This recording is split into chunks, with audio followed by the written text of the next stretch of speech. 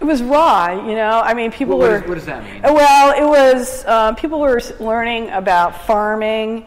Uh, who knew in the in the wine, global wine world, or even in the U.S., where Oregon was even at? And so, in back in those days, you you couldn't give away a bottle of Pinot Noir in California.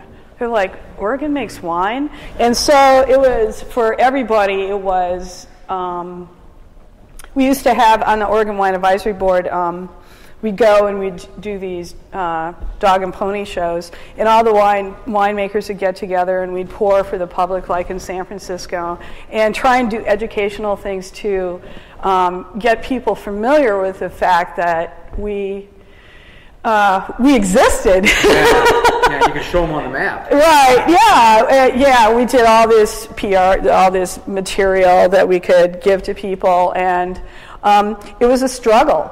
It was a real struggle. Struggle it was even a, way? well, uh, just selling the wine. You know, uh, people. It, just wasn't easy as easy as it is now. That's for sure.